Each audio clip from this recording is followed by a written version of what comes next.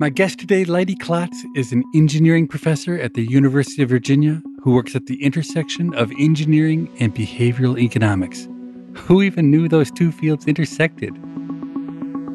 Welcome to People I Mostly Admire with Steve Levitt. Leidy summarizes his research ideas in a new book. It's called Subtract The Untapped Science of Less. Now, being totally honest, when I first saw Leidy's book, I dismissed it as schlock, one of the hundreds of mediocre pop science books published every year.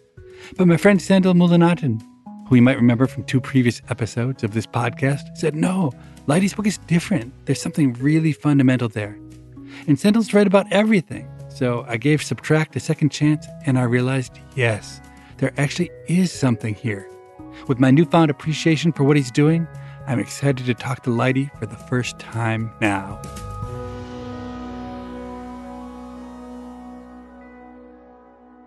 You've written a book called Subtract, and you've done a ton of academic research on the topic. Like most good ideas, it seems like there's an extremely simple insight at the heart of your argument. What is that? When we try to improve things, our first thought is what can we add to make this better? And as a result, we overlook subtraction systematically. I think there's an even simpler statement, which is that there's a human bias against subtraction behavioral economists have been working on biases for 40 or 50 years. Right. And I think it puts it squarely in the idea of here's something that doesn't happen as much as it should. And that's the nature of what bias is. So, do you like that description or you not like that description? I like it. One quibble would be with, well, we don't want to just have this considered alongside the laundry list of biases that are out there, some of them less fundamental than others, because we think this is a pretty fundamental one. But there's some pretty good biases on that list, don't you think? Oh, yeah, yeah. No, there's a ton of great biases. Everything from hyperbolic discounting to defaults to loss aversion. So I don't know. If you don't want to be on that list, I'm not sure what list you do want to be on. Any of the Tversky and Kahneman biases, we will be on that list happily. Okay, let's at least stick with that term for now, which is that I'm going to summarize your idea as being there is a human bias against subtraction. And I want to just pause because good ideas are extremely rare. And it's too easy for humans to say, oh, that's totally obvious or that's not true. And I have to admit that my own first reaction to your idea and to your book was negative. It was only when I slowed down and I chewed on that idea a little bit that I realized two things. First, the idea really was new to me. And second, I suspect you're right that there actually is an innate bias against subtraction. And it's not easy to uncover something that is both new and correct. So let's just start with the academic studies, because mm-hmm. I suspect that people have no idea what we're talking about. Okay. Because subtraction is so abstract. But how did you begin to convince yourself that this was important? The first study was just really simple Legos that we had out in front of passersby on the university campus. And so we said, okay, here's a Lego structure. How would you make this thing better? And it was totally open ended. And out of 60 participants, I think only one person took Legos away from that. The basic idea we're testing here is when you have a situation, whether it's Legos or a travel itinerary or the thoughts that are in your head, how do you try to make it better? And the Legos, that example shows that 59 out of 60 times people added to try to make it better. But you didn't build an arbitrary structure. I suspect you built a structure with one beautiful subtraction would turn it from a piece of junk into the Taj Mahal. Yeah. But nobody could see that. That must have been the gist, I'm guessing, of what you were doing. We started with arbitrary structures and then we moved into things that would be better if you subtracted. The challenge people had was put a masonry block on top of this Lego platform. It was a wobbly platform, like a table with only one leg. If you just threw a masonry block on top of the structure that we gave them, the structure would collapse and you wouldn't satisfy the parameters. And so you could create the structure that we wanted by either adding eight blocks or removing one block. And we charged people for block additions. And most people would add filling out all three legs of the table. Whereas you could just take one of the legs away, move the platform down one level, and it would be totally stable. You charge them to add, you charge them nothing to take away. Mm-hmm. And yet almost everybody added when the simplest solution was right in front of them just take away. Yeah. How about travel itineraries? What were you doing there? You're imagining your own trip to Washington, D.C. And so we created this obnoxious travel itinerary like seven activities from 10 to 3 and then seven more activities from 4 till 10 at night. And then people could remove things from their itinerary or they could add more things and people tended to add even more stuff to that already jam-packed impossible itinerary. Sometimes the question in these experiments is whether the costs and the benefits end up being real. Did you actually make the people go and do that day of sightseeing in washington d.c to punish them for their inability to subtract no, we should have. There were nine preliminary studies that we did that just basically showed people adding in all these different ways. The range was probably 80% adding, 20% thinking to take away. It was a big difference. And the core experiments were things that showed people weren't even thinking of subtracting as an option. So you do a whole series of studies in a bunch of different settings and you see over and over that people don't seem to want to subtract. They always want to add. So now you're faced with the challenge, which is why. And so you design some more studies. So give me an example of an experiment where you can figure out whether people consider subtraction and then ignore it, or it just doesn't even cross their mind because they're so focused on addition. I'm an engineer by training and I've worked in behavioral science for the last 13 years, but I was working with three other behavioral scientists, Andy Hales, Ben Converse, and Gabe Adams, who are really magnificent at designing these experiments. And Andy, who's the professor at the University of Mississippi, came up with this grid design. So you've got this large grid of 120 spaces broken into four quadrants. There's a line down the middle vertically and a line down the middle horizontally. It's like a checkerboard with some of the spaces already filled in and we would fill them in in a way that was a pattern and we would leave extraneous marks in one of the quadrants. You've got to make it symmetrical from left to right and from top to bottom. One example, we drew something that looked like a diamond that was centered in the grid. So that's symmetrical because it looks the same left to right and top to bottom. And then in addition to that diamond, you might put three extraneous grid marks in the upper right corner. So now you've got one quadrant of that master grid that is different than the other three. And we've asked the participants to make it symmetrical using the fewest clicks possible. So, one way to do that is to add to all three quadrants. So, that costs you nine clicks because you got to add three extra spots in three quadrants. Exactly. And then the other way to do it is to subtract from one quadrant, which only costs you three clicks. And this is so totally obvious. Yeah. That I'm sure everybody just did the subtraction of three, right? No. I mean, I think I would fall for it the first time. And even now, when I open presentations with this, Leidy Klotz talking about subtract in his new research, why people don't subtract, and still people overlook it. And a lot of people, most people, faced with that ex post incredibly obvious chance to subtract, do addition.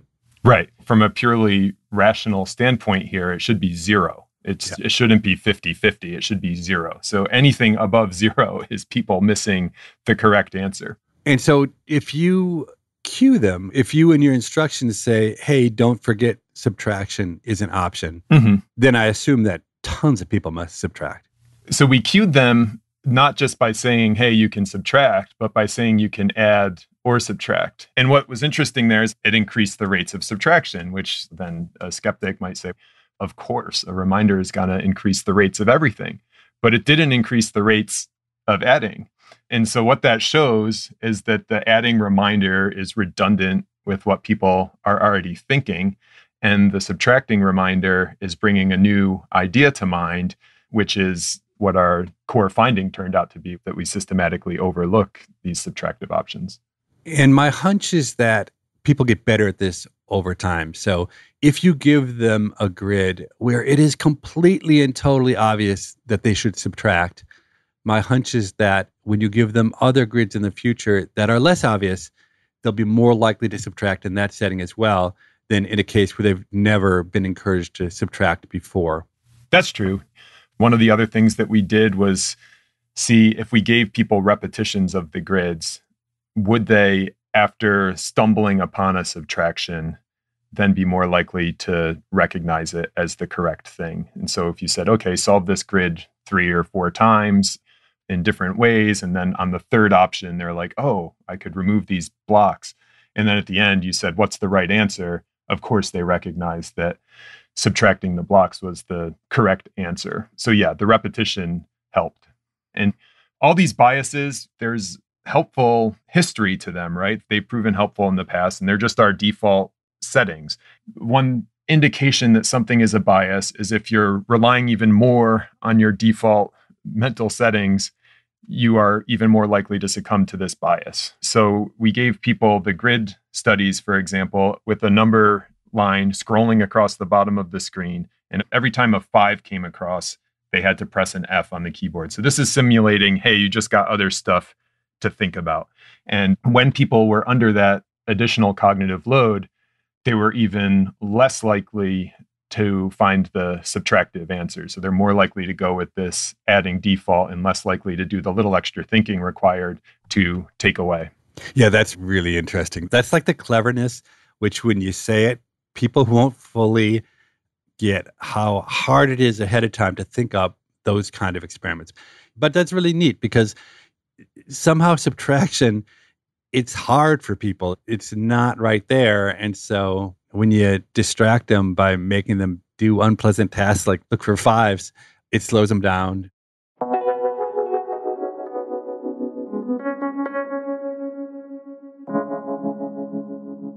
Now, I would say in general, I'm pretty skeptical of lab experiments.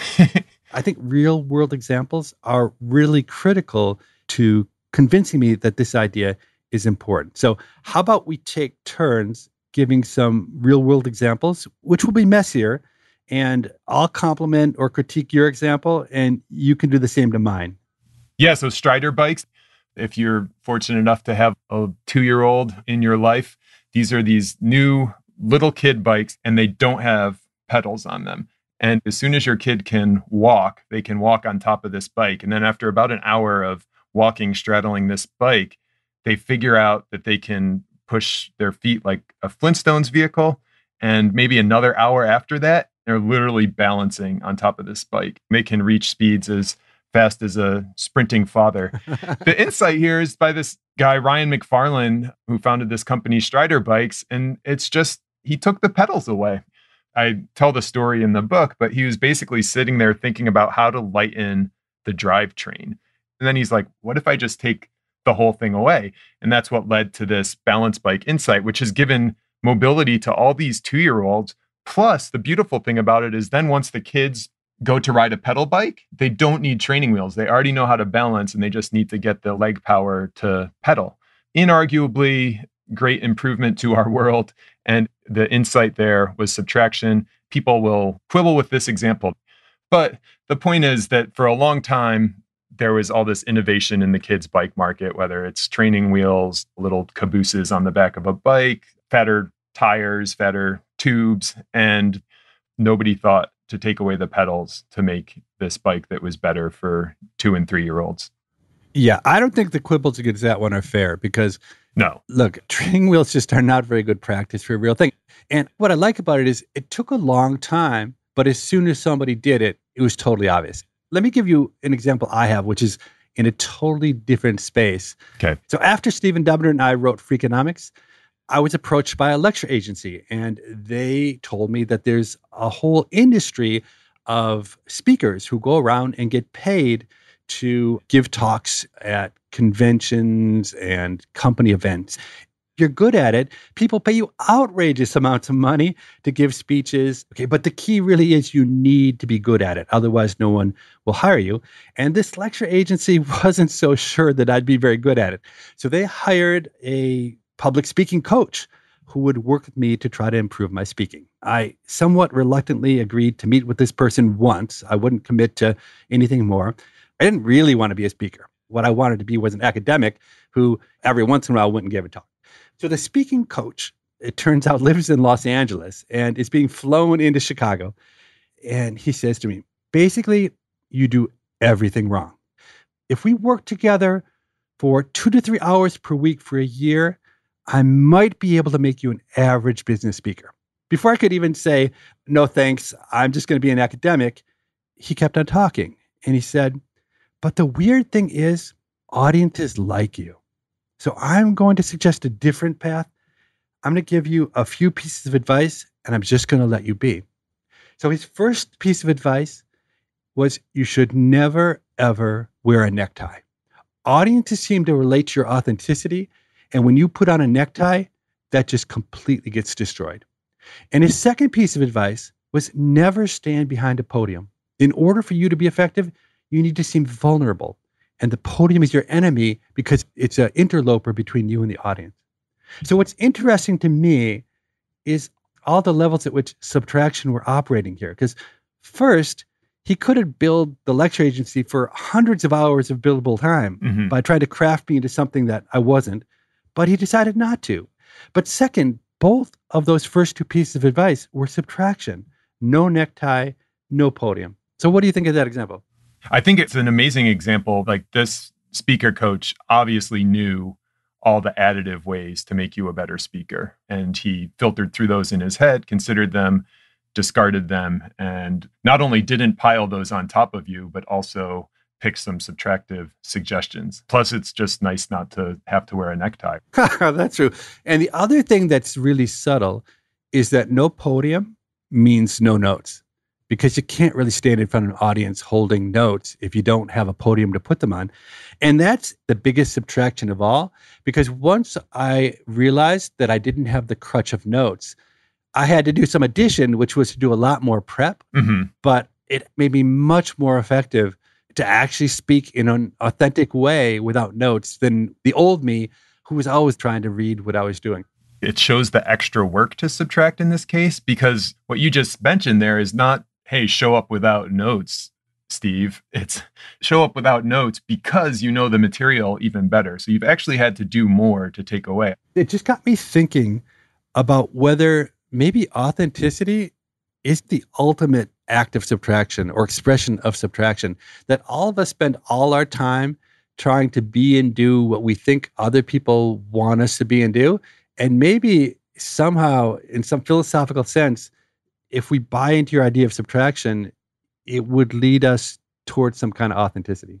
But maybe I'm just crazy. No, I like that. Don't call it my idea of subtraction, though. I think it's, I'm agnostic. People go around, oh, Leidy says we should always subtract. I just don't want us to overlook the option. But I love the authenticity piece. And it certainly seems like the stuff that is inauthentic, you can strip away. That's something that is prime for subtraction. But you need to think about it society just puts a lot of pressure on us to be normal. I'm socially awkward enough that I don't even notice a lot of societal pressure. And it's been really helpful to me in maintaining, I think, the only thing that I have that's any good at all, which is my own authentic way of looking at the world.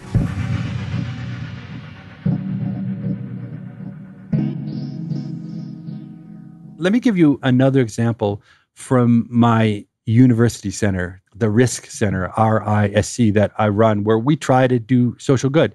Right. And what's interesting is I would say the majority of our projects end up being subtractive. So we are trying to rethink the criminal justice system. And one of the technologies that people use is called an ankle monitor. It's an alternative to locking someone up. And I, I think you know what I'm talking about. It's a, yep. a big bulky piece of machinery and it provides a way of monitoring a person's movements. But all else equal, people don't really want their movements monitored. So companies build these big, heavy devices and they're locked and they're uncomfortable. And because they're so big, they're visible to employers. And the companies compete to have the ankle monitor that's the toughest one to cut through.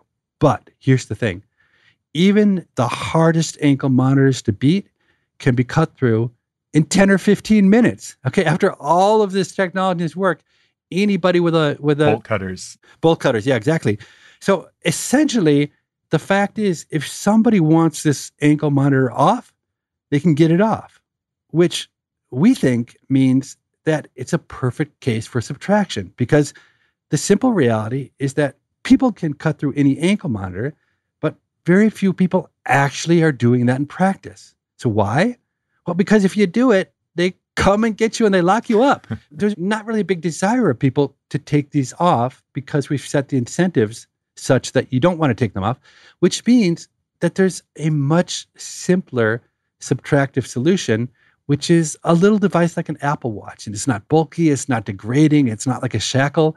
It won't interfere with your life, your jobs. And it also potentially opens up all sorts of possibilities, changes to the dynamic where it can move from a shackle with some primitive, stigmatizing monstrosity to rather enabling with a technology that could provide social services or let the person wearing it reach out to a parole officer if they're in trouble to try to get problems solved. So, anyway, I don't know. What do you think of that as an example of subtractive thinking? Oh, it's beautiful. And it ties into my engineering background. I mean, I just see parallels. Can I give you one engineering one? Yeah, please. Yeah. So, there's this really cool engineering idea, and somebody should write a book about this inventor too. Her name's Anna Keichline. She was the first woman architect in Pennsylvania, and then she was a volunteer spy in World War One. But in between being this Renaissance woman, she was also a serial inventor. And one of the things that she invented that has shaped our modern society is the hollow building block. These are the building blocks made out of concrete. So she invented it in like 1920 before our Keichline building blocks were solid. But these hollowed out blocks, you can fire them more quickly. They're easier to move around because they're lighter. They use less material. A big portion of our CO2 emissions come from concrete. So this uses less concrete. And these hollow blocks actually provide better insulation in buildings because instead of this straight conductive unit of material, you've got an air barrier in the middle. So it's just inarguably better. You're listening to People I Mostly Admire with Steve Levitt and his conversation with Leidy Klotz. After this break, they'll return to talk about what to do about our bias against subtraction.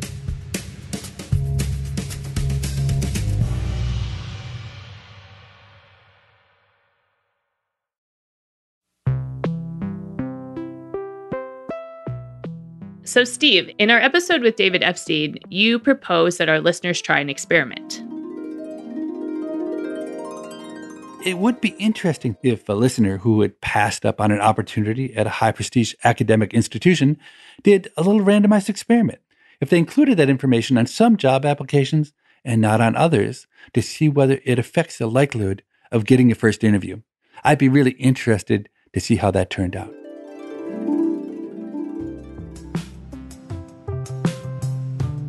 Well, a listener named Adam Kay tried this experiment. He was accepted into a master's econometrics program at the London School of Economics for this year, but he decided not to attend. He included this fact on his resume for some, not all, of his job applications, and found that he actually got more responses using the resumes that listed the program on it. So, what do you think of Adam's experiment? I love everything about it. I love that Adam went out and actually created this random or quasi random variation. I love the fact that he took the time to carefully keep track of the results. But what I love more than anything is that he saw these results. He saw that he was getting more callbacks when he included the information about the program. But then when he actually did the interviews, he realized it was because the recruiters actually just made a mistake. Most of the recruiters misread his resume and thought they'd actually done the program. Mm-hmm. So I love the fact that he actually was a careful analyst of what he saw and actually learned from it so he didn't draw the wrong conclusions. I mean, this is social science at its best, is what I'd say. Adam, you went out and you actually created knowledge, and it was interesting and it was easy and it'll make your life a little better and maybe it'll make other people's life a little better. I wish there were more people like Adam in this world. I think we should underline that people shouldn't lie on their resume, but if a recruiter does misread something, then that's on them. Another nice thing about Adam, so he's not only a good scholar, but he at least professes to be honest because he said that with each of the recruiters who mistakenly thought that he did the program, he was careful to correct them. So, look, Adam wins not only for smarts, but also for honesty, too. Well, Adam, thanks so much for trying this experiment and sharing your results with us. If you have a question for us or want to respond to something Steve asked on a show, please write in. Our email address is pima at freakonomics.com. That's P I M A at freakonomics.com. It's the acronym of our show. Steve and I both read every email that gets sent in. We look forward to reading yours.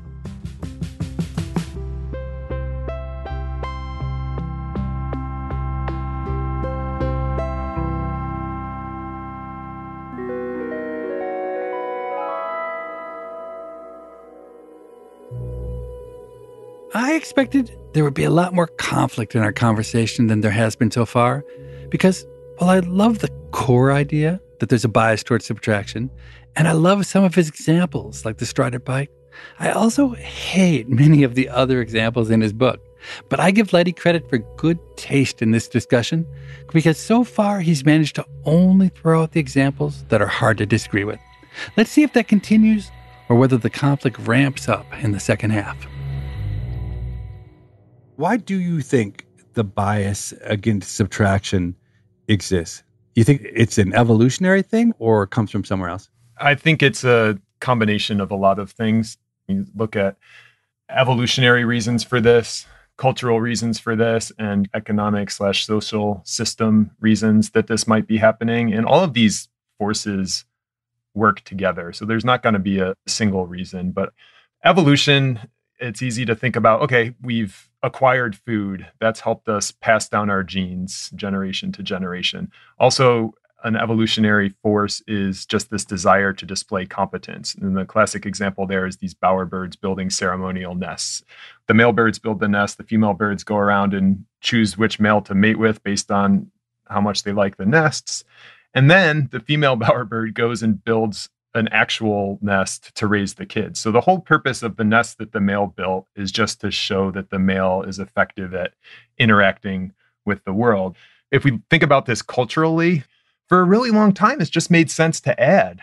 If you don't have a city, it helps to start building roads and infrastructure. If you don't have a society, it helps to start adding writing and adding laws. We've all evolved from civilizations that have developed that way and so this kind of historic adding could spill over into our thinking now. And the other way that it spills over, it's less in a evolutionary way. It's more just we're surrounded by this stuff all the time. So if you're just walking through your world, Steve, you see a reminder of the building that was built. You see a reminder of the legislation that was passed.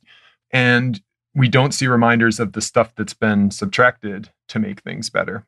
And then the last one is just this idea of some of our economic incentives pushing us towards more. Gross domestic product, for example, as that goes up, that's one measure of a country's progress. And that certainly pushes us to add because if you build something bad, like a prison, for example, that's increasing gross domestic product. So that counted as a good thing. So there can be these perverse metrics that lead us to add to. Yeah. The one I use in my book is actually less lofty and it's more just my own house. I've been interested in subtraction for a long time. So this was even before I wrote the book. I said, okay, we're going to do a home renovation. I'm teaching a class with engineering and architecture students. And the theme was addition by subtraction. And I gave them all of this reading about subtractive, minimalist, modern design. And I specifically challenged them to make the home better without adding any more square footage and by subtracting square footage if possible.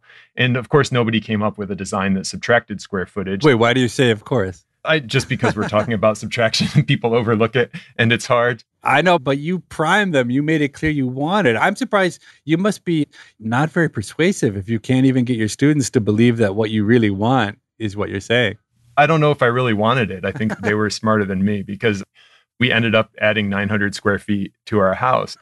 In this case, adding was just better we needed more space and that was the right solution for us. But the economic force there was just the cost the homes being valued on square footage. And as we talked to our realtor we're like how can we increase the value of our house? And she said just increase the square footage. So in that case there was an economic incentive to add. What's wrong with my logic there? What's wrong with your logic is a lack of authenticity. you shouldn't ask your real estate agent what you want and do it because society says they'll pay you for it. If you were truly authentic to what you needed and believed, then you could have had less space, but created something so magical that people would have loved it. That's my critique of that one. Okay. It's obviously somewhat tongue in cheek, but but I do think that's an interesting case where you and your wife didn't have the confidence to go and do what you wanted to do because you were afraid of how the market would react to it. And I think in a subtle way, the message that I took away from your book is don't let the fact that everybody else is additive trick you into being additive too. Yeah. The home example, I think we were authentic with that. This is what we needed. And I think the authentic piece there was like, okay, Leidy talked about subtraction, but he thoughtfully considered all of the options and decided that adding was better. okay, good. So that is authentic. Yeah. Because really, you want, let's just be clear, because I've maybe been taking too strong a case. It's not that you go through life preaching that subtraction is the answer to every problem. You're going through life preaching that subtraction should be on the table. Don't overlook it. Sometimes subtraction is good, sometimes it isn't. And we miss out on opportunities to use it. And that's what a bias is. It's not that it's always the right thing, it's that it, it's used too little relative to what would be optimal. And back to your authenticity point, the untapped part is the longer we've been using this bias, the more untapped subtractions have piled up. So I want to throw out another reason why I think people have a bias against subtraction. And I think when you don't understand how things work, let's face it, the modern world is complicated and almost mm-hmm. no one understands how anything works. So when you don't understand how things work, I think it's risky to start subtracting. So you think some piece doesn't matter right. or it's making things worse, but then why is it in there? Presumably someone in the past who maybe knew a lot more than you put it in there for a reason and it's just better not to mess with it. Now, I'm not saying that's the right answer, but I think that's a really strong force. And I think it's a strong force now, but I think that was a strong force 5,000 years ago when there wasn't really any progress. Your mm-hmm. grandparents would tell you, don't eat that plant. And you're like, I don't know why I'm not eating that plant, but grandma survived to the age of 60, so she must be pretty good at this. I'm not going to eat that plant. And I tell my kids that. So do you think that is anything to do with why maybe we don't do as much subtraction as we should? Definitely. If you're messing around with your engine of your car, the same basic thing. Who am I to take something out of this? Surely there's a purpose. I think that's a good way to approach the world is to think if okay, if this thing exists, but we need to have more of a reason to take something away from it. I think another thing this brings up in my mind, a force against subtraction is that anytime you take something away, there's usually somebody who is benefiting from that thing that will be taken away. Mm-hmm. And that group is often politically highly motivated, highly vocal, whereas the beneficiaries of the subtraction are often amorphous. They don't even know who they will be, who will benefit from something. And so I think that politically makes it hard because there's almost always someone who's trying to fight any change that involves taking stuff away. One of the examples I use in the book is San Francisco's Embarcadero Freeway. This was a double decker freeway in front of the waterfront in the city. And planners had been talking about removing it basically ever since it had been built. They put it to vote among the city of San Francisco, and it was like two to one wanted to keep the freeway. But the earthquake hit in 1989 and it made the freeway unusable. So now the choice was hey, do you want to rebuild this freeway or do you want to now go forward with this plan of removing the freeway and experiencing those benefits? And still, public sentiment was not to take it away. The planning commission forced it through, but then the mayor got voted out of office in part because of the role forcing this through, and the planning commission all lost their jobs. I think that it's really visible and tangible what you will be losing when you take something away, and it's harder to imagine what the gains are going to be.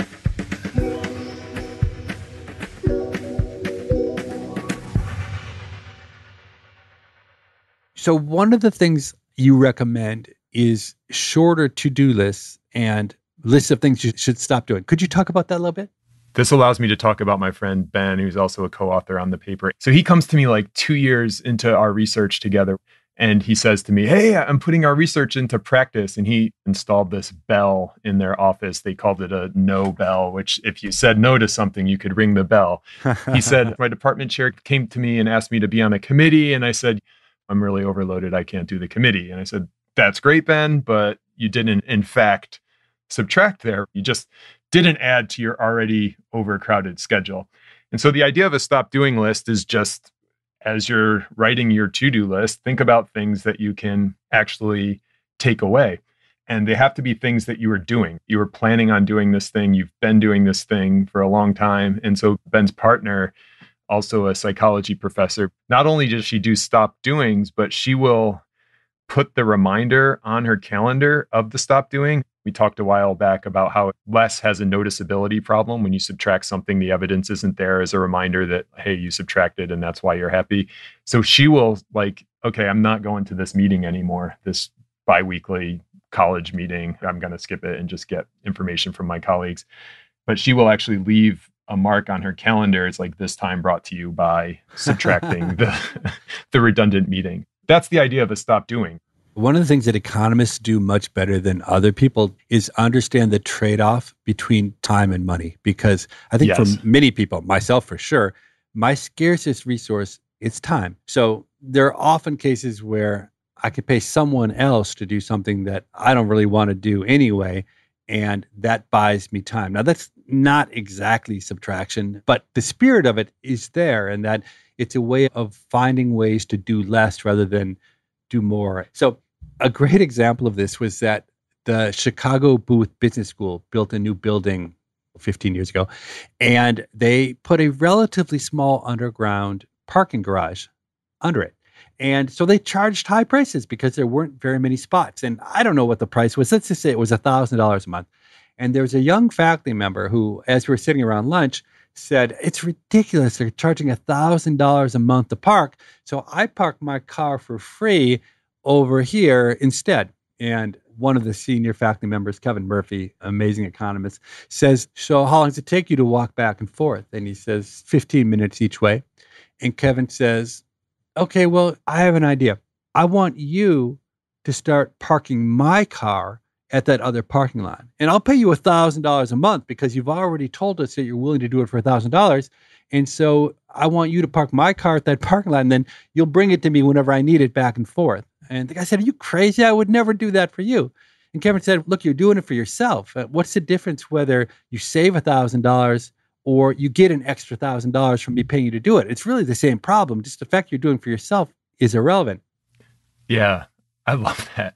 And I think the point is not the specific subtraction. The point is put the cues in place so that you don't fail to think of it as an option when you're making decisions. So if you want to subtract more, force yourself to think of stop doings when you're making your weekly to-do list, but also think through the other times in your life when you make decisions and how can you now put in place a cue to remind yourself to subtract when you're making that decision.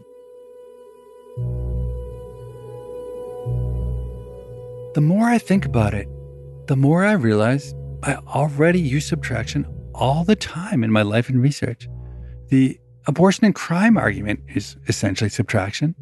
And the solution that we're proposing to fix high school math, cutting away much of what we've historically taught, that's also subtraction. The list just goes on and on. And it makes me wonder how much of my success is due to the fact that I, unlike most people, seem to naturally gravitate towards subtraction. Not many episodes of this podcast yield such a simple, clear lesson that you can apply to your own life. The next few times you're faced with a problem, pause and ask yourself, how might subtraction help me here? And let me know what the outcome is. I'm so curious to hear about both your successes and failures when it comes to subtraction. Thanks for listening, and we'll be back next week.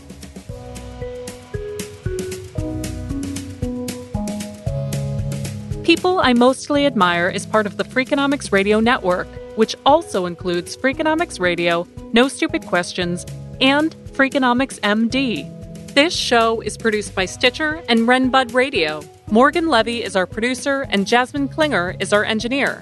Our staff also includes Allison Craiglow, Greg Rippin, Joel Meyer, Tricia Bobeda, Emma Tyrrell, Lyric Bowditch, Jacob Clemente, and Stephen Dubner. Theme music composed by Luis Guerra. To listen ad-free, subscribe to Stitcher Premium. We can be reached at pima at freakonomics.com. That's P-I-M-A at freakonomics.com. Thanks for listening.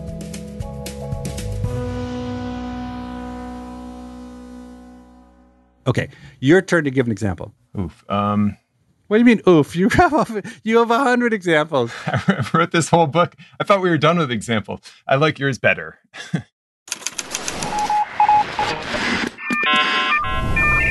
The Freakonomics Radio Network, the hidden side of everything. Stitcher.